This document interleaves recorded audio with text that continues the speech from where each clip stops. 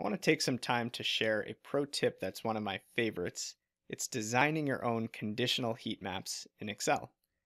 Now, in my opinion, one of the most effective types of visualizations in Excel isn't a chart or a graph at all, it's a heat map that you can create with basic conditional formatting rules.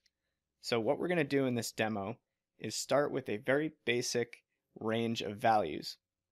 we're going to select that range, access our conditional formatting options from the Home tab, and we're going to insert a color scale from there, either red to green or green to red based on the context, and that's going to turn those raw values into something like this, a really powerful really effective heat map that draws attention to these patterns and these hotspots within your data.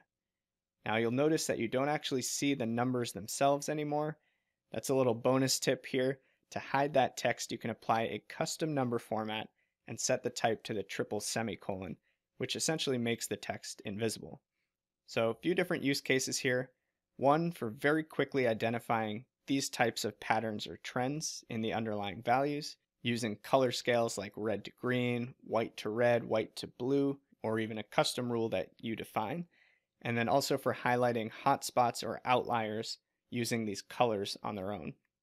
So let's shift gears into Excel and build one of these heat maps of our own. All right, so if you've been following along with the course, go ahead and open up your pro tip workbook and look for the conditional heat maps demo. It's a two-star demo in our yellow visualization section here and we'll go ahead and link straight out to that sheet. And what you'll see here are accident counts or frequencies based on the hour of the day and the day of the week. So I've got my hours here in row 3 from midnight to 11 p.m. I've got my days of the week here in column A from Monday through Sunday. And these values here represent the actual number of accidents that took place during these days and times. And you see I've broken it out a little bit here Column B, I've got my aggregated counts, which are based only on the day of the week. In row 4, I have aggregated counts based only on the hour of day. And then in this range here from D6 through AA12, I have the frequencies broken down by both hour of day and day of week. And looking at it these three different ways will help us identify and expose some really interesting insights and patterns in this data.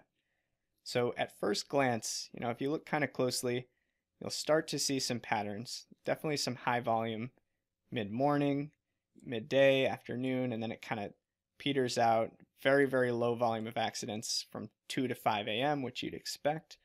But we really can't understand the big picture without applying some sort of visual aid here.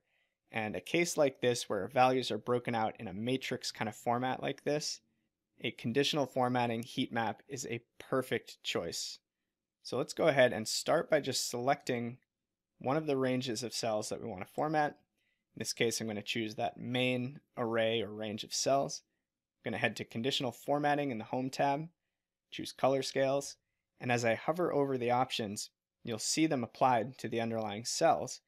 And you can choose whatever options you want here. The one thing that I would recommend is that you avoid using the default option, the green, yellow, red scale, because by default, high numbers are going to show up as green in this scale, as if that's a good thing. But in our data, a high number indicates a high frequency of accidents taking place, which is not such a good thing. So in this case, I'm going to choose the second option, the red, yellow, green. You could also use the red, white, green, totally up to you. And just click to apply. And check it out, right off the bat, these stories and these patterns are emerging. Like these cells here immediately tell me that Monday through Friday, specifically at 8 to 9 a.m., we have an unusually high frequency of accidents taking place. And it really doesn't take long to realize that this is rush hour on the five work days of the week. And then we have kind of a similar bump during the afternoon rush hour from 5 to 6 p.m. Generally speaking, the accident rates are a little bit lighter on weekends since fewer people are on the road. And let's go ahead and just apply that same color scale to the other two components of this heat map. There we go. And then I'll pick the column B cells, color scales, red to green. And there you go. So just by looking at, you know, these other components like column B, tells me that regardless of the hour of day, Fridays tend to be the worst days in terms of accident frequencies. Same story here in row 4, just looking at this row, regardless of the day of the week, 8 to 9 a.m. is pretty bad, 3 p.m., and 5 to 6 compared to late night or early morning hours. Now, we've already created a tremendous amount of value just by adding that color scale, and in many cases, you may want to keep these values visible just like they are, in which case you could call it a day and be you know 100% done, totally valid.